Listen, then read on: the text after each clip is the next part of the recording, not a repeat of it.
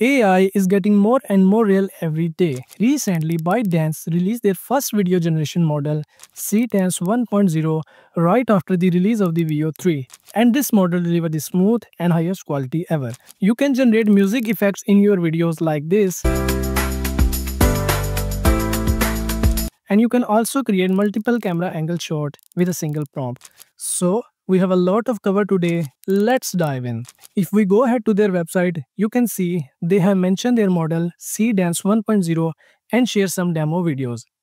It is a text to video and image to video model that produces 5 second, 10 second clips in 1080p resolution in just 41 seconds. Scroll down and see their demo videos. If I play their video, you will notice character has smooth and stable motion, not any distortion and the realism is impressive and outstanding. Mostly AI tools generate only one camera angle shot, but Seedance for the multiple camera angle shot. The benefit of this is that you can generate the multiple camera angle shot with a single prompt instead of generating one by one, and that really helps with keeping everything consistent. See in this example, a fox is running through a forest, then it suddenly stops and turns back. This is a cut shot. If you do not know about the cut shot, it is when one camera angle instantly switches to another. Here, AI created a different shot. First is the running shot, then stop and running back and this is only 10 second clip. Additionally, AI also added the lens flare and motion blur effects which takes the realism to the next level. So you might thinking how can we generate the video using Seedance? At this time, Seedance is available free on the Dreamina platform by the CapCut. The rest other platform cost too much money.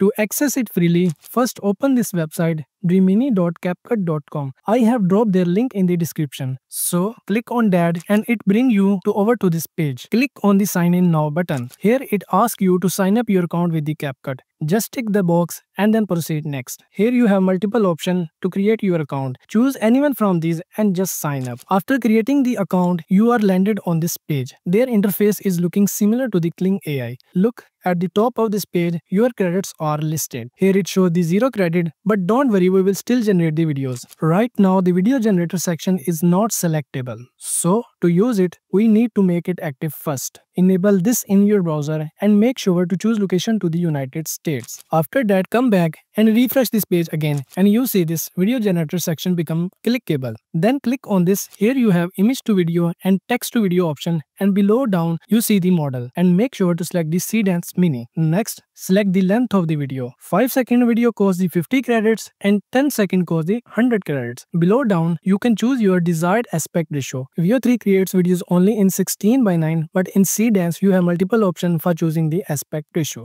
Click on the text to video and paste your prompt. I recommend to use the lengthy prompt. In my opinion, lengthy prompts work best with the Seedance and click on the generate. Alright, our output is generated and see the results are looking super realistic, multi-angle shot and movement of a man looking so natural. Now let's try their image to video feature. I upload this image and give prompt. The girl show a charming smile on the seaside. Alright, our output is generated and you see no change in the shape of a girl. Slow motion effects are looking so amazing. You can also increase the frame rate of a video and make video more smooth. Click on the keyframe icons and here it asks you to increase your frame rate from 24 fps to the 60 fps. But these options work only in the paid plan. I know the quality has much improved but still there are some issues. For example, when I click on generate sound, it only creates the audio based on the first frame which doesn't match the full video at all. When you play it,